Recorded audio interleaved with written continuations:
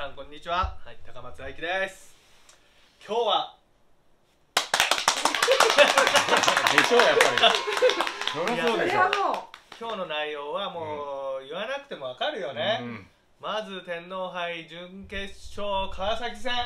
現地行ってたんでしょ？行きました行きました。最どうでした？高でしたよ。やっぱもうここ数年で一番の試合やったんじゃないですいやお金払っても見たい試合見てていい試合だったよね、あれ多分初めて見た人とかもすごいサッカーファンになるでしょいやなるでしょ。あんな熱い試合と、まあ、特に大分なんかもうリーグ戦でもね負けてるしね、うんまあでもいい流れであのリーグ戦で2連勝で終えて天皇杯やったから、すごいいい流れを作りましたよね、うん、流れもいいし勢いもあったよね、うん。なんかチームがまとまってるような雰囲気もしたし、なんかふ吹っ切れてる部分と、やっぱりプレッシャーから解放された部分がそこは大きいですね。あでもあの王者フロンターレだよ、めちゃめちゃ強いじゃん、でもあの中でよく我慢強くさ高木中心にさ 1点に抑えたよね。シュート数コーナーキック数フリーキック数見ればもうね 向こうは圧倒してましたからね。シュートだって28本とかじゃなかったかな。7ですからね。27か8うんそんぐらいだったよね、その中でも枠内シュートがめちゃくちゃ多いから、うん。川崎って。そこすごかったですよね。やっぱ川崎だっていうことですよね、あとやっぱ家長選手すごくないですか？やっぱやっぱりね。改めて凄さが分かりましたよね。いや秋はねマジでうまい、うん。ボールの置きどころもそうだけど取られないじゃん。うん。一、人来てもであの間がねすごくないですか？ピタッと止まってそこから仕掛けるやないですか。独特のうね、ん。で試合中にもさ若い選手にさああしろこうしろっていうのもさ、うん。彼らしいです本当なんかね、人としてなんかどんどん成長していいってるよね。やすごかったっすね。今35歳かな家長選手もね、うそうですね。まあ、すごかったけど、まあ、ちょっと話戻して。いやまさかね PK まで行くと思ってた？いやもうあのい失点したところでああもうもうここまでよくやったな。でもそれでもよくやったなって思いましたけどね、あうん。ーいや本当に最大値じゃないけど、うん。出し切ったよね。選手はねもう120%出し切ったっていうかね。あのパワープレーでまたね同点するっていう演力がねね。取るっていうところがまたすごかったですけどね。ちょっと本当にゲームプランの中で多分あそこまで行くっていうのは片さんの中では多分考えてたと思うのよ、うんうんもううん全ていろんなねうん。プラン考えた中で、まあ、失点したら多分もう最後はパワープレーだとか、で下田はあそこにポジションフォーメーション変えてね、うん。あ442かなにしてでワンボランチでね、アンカーを消すために下田を置いたりとか、片さんの準備がチームとしての準備もう予想だにしなかったことをあのフロンターレにぶつけてきたから、うん。俺はもうね残ってほしくなってきてるよすごく片さん。采采配キレキレいやあのー、それ俺思ったんですよ、うんあの梅田選手が一回引退発表して復帰した時のようにああったねはいあの加藤さんもあの退任発表しましたけどうん実はもう一年みたいなそれは無理だと思うもう無理だと思うんだけど本当にすごかったよねその戦術なとことうん。準備のところで多分ねうん。いろんなことを考えてフロンターレ対策はしたと思うんだけどもうハマっちゃったよね。あもうバッチリもう本当ね。いやすごくなかったでも本当に。それあんだけ喜ぶわ。そりゃそうでしょ。芝刈りもするわ。いや本当によかったよ。前回の動画でナイキさんがいける気がするって言ってたじゃないですか、うん。川崎だからこそうん。いけるって言ったら。いやそうなのよ。コメントをいやいや、本当当たったよ、俺。当たっても過言ではない。本当ね、選手からのもね、ちょこちょこ聞いてたけど、雰囲気もいいし、うん。やっぱりなんかすごく今一枚岩になってうん。戦えてるんで、すべてにおいてすごいいい状態だったから、もういけるしかないでしょ。で昨日の会見で松本選手がうん。過去最高にいい練習ができたっていうふうなことは言ってたんで、あーもう本当そのチーム内の雰囲気っていうのは練習からいいみたいですよね。うんそれがあったから、まあ、勝ったと思うし、うんで、また天皇杯決勝、話しますか、うん。浦和レッズ戦、うん。これはね、また面白い試合になるよ。それも両チームともね、思いがうん。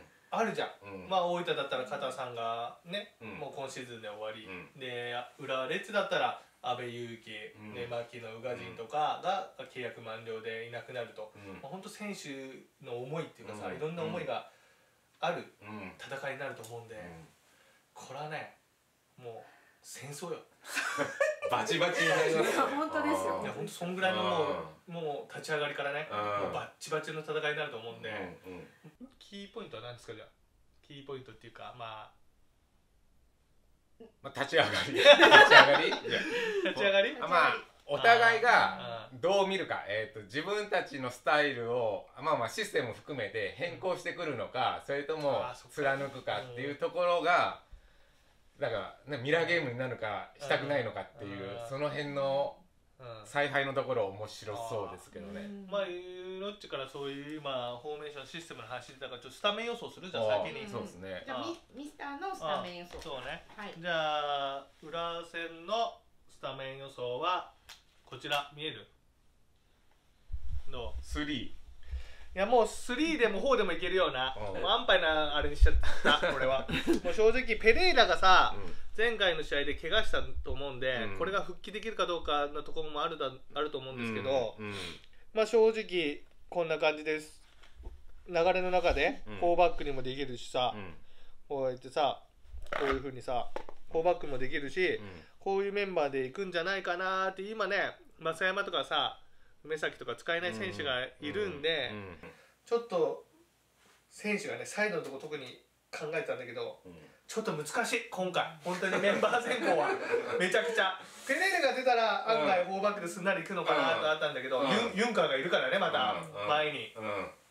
ちょっとちょっとね3バックでもいける4バックでもいけるようなうん形にちょっとしちゃったね今回はね。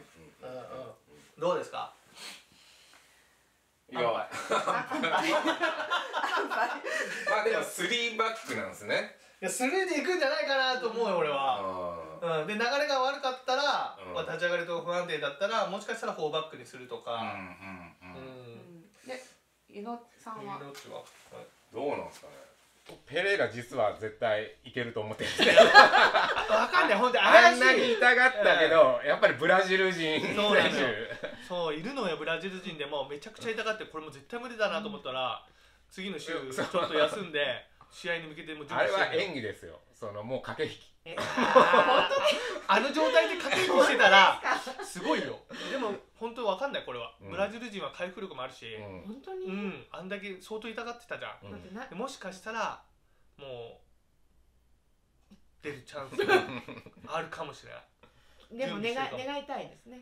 うん。出てほしい、まあでも正直リスクはあると思うよ。うん。出てスタメンで使って途中で負傷退場するとかなるじゃん、うん。そしたらやっぱりそこで交代枠1人使うからね、まあそうですね。でそういうところも計算しながらまあ今準備はしてると思うんだけど決まった？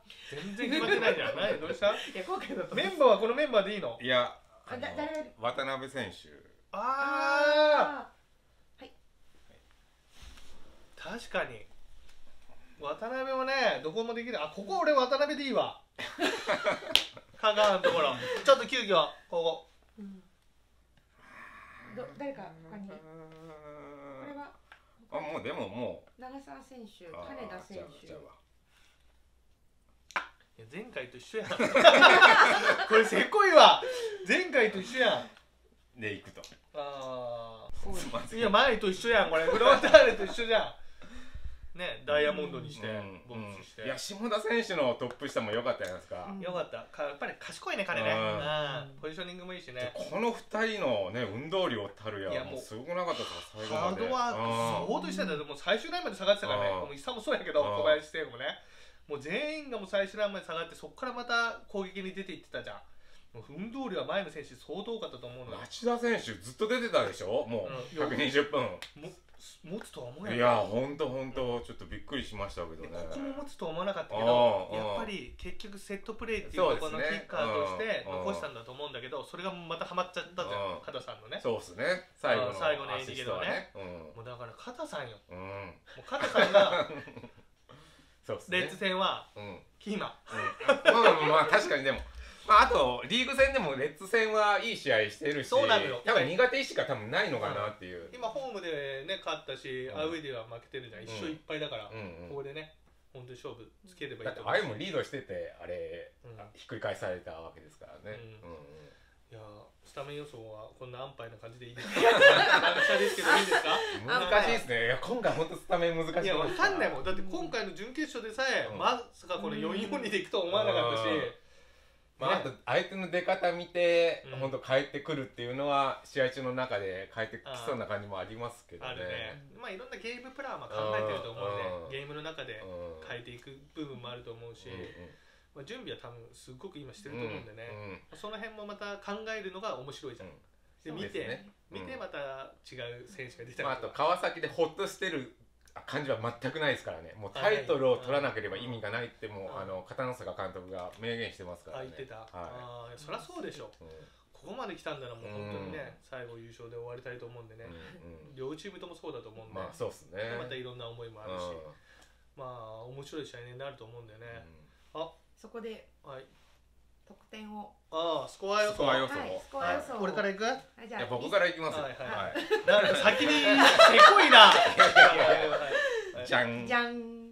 ナビスコと同じ。2-0おおまあ国立今まで4試合ね、3勝1分けで負けなしっていうところの相性の良さもあるし、まああと浦和とのその相性の良さもあるのは、うん。でまあ町田選手浦和キラーなんでまず先制点、まあ、こ後半。うん。後半決めもうほんとまさしくナビスコ。後半決めてで、えー向こうが前がかりになった時に最後。カウンターでね。しかも松本選手が決める。途中から出て。はい。なんか素晴らしいナビスコを絡めてきたね。さすがバンキシャだね。ああやっぱりナビスコのイメージがあるからね。いやそりゃそうでしょう、うんそうなったらもうマジですごいよ。最高っすよ最ね高流れになったらね。じゃあミスター。はい。じゃあ私はもう2じゃあ。対1お伊佐長澤ユンカ。1点。はね失点、まあユンカのコンディションも上がってきてるからね。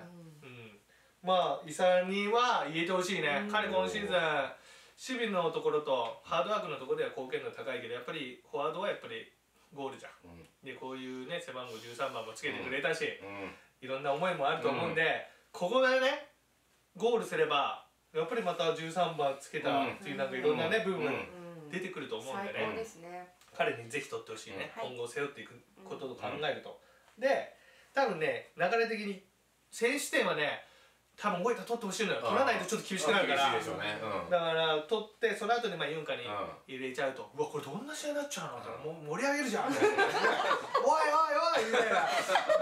ねおいどうなんだよって時にまあそこで肩さんが出しちゃうまた手話もうすぐ交代しちゃうまあね後半途中で流れを見ながらね、うん。長澤。うんこれメンバー長澤入ってなかったらあれだけどね。長澤と誰かまあ攻撃のところに点を取りに行く勝ちに行くっていうね。うん。多分すると思うんで。そこで長澤。じゃあ追いつかれてうん。逆転してやってでうん。2対1優勝。ですね。優勝はい。延長戦はない。おおおうん。お90分間の中での2対1おうん。ー俺はそう思うよ。もううん。多分前半から多分あのー飛ばしていくと思うんで、うん。大分はどんどんね、前からプレスかけたりとか。だから長澤がやっぱりこの疲れたところの高さでうん。セットプレーなり流れの中でクロスからのうん。ヘディングでうん。ゴール。2対1大分優勝。ありがとうございます。どうです？タイトル取ったものとしてはあの雰囲気とか、いやた最高だよそれはもう、うん。もうあんだけのねあの当時4万人ぐらいかな、国立だったら、う今はもっと入るからね、うん。多分相当なお客さんもレッツファンも来ると思うんでね、うん最高な雰囲気になると思うんで、うん。一体感含めてね、うん。その中でサッカーできるっていうのは幸せよ。うん。本当このコロナ禍でね。うん。皆さん来てくれるんだから、うん。今回上限もないじゃん。100%もね、うんマックスで入れるんで、まあ楽しみよね。まあでも浦和のサポーターがね多分かなりの数を埋め尽くしそうな感じはあるけどいやすごいそれすごい。完全アウェイになりそうな、完全までいかないと思うけど、うん。まあ半分以上赤に染まるんじゃないかなって、うん。まあ、それはしょうがないよ。だって大分から行くのと 埼玉から行くのじゃそれはね。もう今飛行機新幹線も取れないらしいですよ、そうでしょ、うん。まあ、だからそれだけでも大分のね大分から行ってくれるサポーターファンがいるんで、で僕の周りにも相当もう行くって言ってたから、それはもう多分力になると思うのよ選手たちには、だから本当その最後はねそういう思いとうん。あとは俺選手たちには楽しんでほしいのよ。こういう機会っていうか試合なんかできないから、うん。めったに、うん。こういうね試合できるんだからやっぱり感謝とうん。あとはやっぱり選手だからやっぱり楽しみながらうん。まあ戦ってほしいなっていうのはありますね、などうなんですか？精神状態こうどうするのがいいとかどうしてたんですか？あのま大一番の時は。正直僕はだからそのねオリンピックとか経験してるし、うんうん。やっぱり経験してる選手がちょっと多少少ないのかなっていうのはあるよね大分側はね、うん。だからその辺はやっぱり経験してる、まあ、ベテランの選手だったりとかがうまく話しながらリラックスする雰囲気をうん雰囲気作りっていうのは大事になるかもしれないね、うんまあ、その辺裏はもうね経験代表とかめちゃくちゃいるんで、うん。経験してる選手はたくさんいると思うよ。そういう、ね、大きな試合っていうのは大会でやってると思うんで、まあ、大分はその辺はちょっとマイナスポイントかもしれないけど、うん。これはねもうん正確な部分もあると思うんですよ。渡辺とかさ、動じなさそうじゃん。あそんな雰囲気でも。もう俺がヒーローになってやるっていうやつがね、大分にはいると思うんで、うん。そういう選手がだからそういう選手がもっともっとやればうん。俺は全然問題ないとは思いますけどね。うんうん。ほうほうんうんまあ緊張はすると思うよ。絶対ね。絶対するでしょ。うん。うやっぱミスターもしました？いや俺はしなかったよ。緊張とかはなかったけどプレッシャーはあったね。あいやだってもうあんだけのね初めての初タイトルナビスコの時はね、うんうんそういう中でまあお客さんもねファンサポーターもめちゃくちゃ来てくれて、もう見た瞬間もうこれは負けて帰れないという覚悟そうなんですね。うん。持ちましたからね。うんもうそうですね。僕はね。うん。うんまあキャプテンだったしうん。いろんなプレッシャーあった。うんまあだからそのプレッシャーもあると思うけど選手たちには最後は楽しんでうん。サッカーしてほしいね、うん。あとはもうだからその中で結果はね後からついてくると思うんでね、うん。まずは自分たちのフロンターレ戦みたいな。うん。誰が見ても感動するような試合をね俺はね好ゲームを望んでますね、あのかが神がかり的なセーブはまだうん。大丈夫ですかね？いやーちょっと一回高木締めとかんとねちょっとねあれも調子乗るからねどうかなと思うんやけどまあ大丈夫だと思うよ。今もう肩さんと高木に乗っかった方がいい、うん。そうですね。そうですね。うん。もう勢いあるしね、乗っちゃってるんで。素晴らしかだった肩さん。なん。かねゴールラであん。な監督とかにもう珍しいっていうか素晴らしいことよ、うん。監督自らねそういうことですねや俺は本当だからあれを見た瞬間もうこれはもう行くなと思って、うんもう加田さんは本当チームの雰囲気作りもねそうなのよ。からね。今までなかなかやらなかった監督がうんそういうことをやるってことはやっぱり今いい関係性っていうかうん選手とのうん。やっぱ J1 になってから距離を置いたらしいんですよ監督はね、うんでもやっぱここに来てもう本性を出すというか、実はああいう監督ではあったのをずっとこう抑えてたけど、うん。ここに来てもう自分がもうやらないとっていうか、うん。まああったと思うよ、うんいろんな葛藤の中でね、やっぱり選手とのう、監督っていうのはやっぱり間を送ってる部分もいる監督もあやっぱ芝刈りしてから吹っ切れたんじゃないですか前前回のね 確かに動画に載せたやつであのぐらいからそうこ確かにね、うん。あの辺ぐらいがちょっとね、うん変わったかもしれないね、うん。ワッキーに感謝して。ーうん。本当だね本当ですよ。本当だよ、最後はやっぱ芝刈りで締めてほしいですね。うん、監督いや芝刈りで締めてほしくはないよ締めてほしくはないけど。で決勝は行くんですか？あ行きます行きます。あ行くのやっぱり。じゃあ僕たちはあのパブリックビュあーイングでそうですね。そうやるんで。ねはい。まあおのおので応援しましょうよ、うん。まあ本当にいい試合にはなると思うんでまあ意地と意地のぶつかり合いでうん。楽しいゲームと思うんでまた、うん。後日。はいこの報そうですね。告はねそうですね。動画で流すなり、嬉しい報告をうん。できればと思いますしね、はい。あとまた年末にね新しい企画考えてるんでね、ほう。うん、ほそこはまた皆さんにね。う来るんですか？交互期待。うん、こうご期待と、まあ、ライブ配信でやろうとは思ってるんで、うん。うん。そこでまた皆さんのコメントをお待ちしてるんでぜひ楽しみにしておいてください。楽しいことありますか？いや楽しくしてくれそうな選手を呼んでる。おビッグゲストが来る。んビッグゲでストっていうかビッグではないね。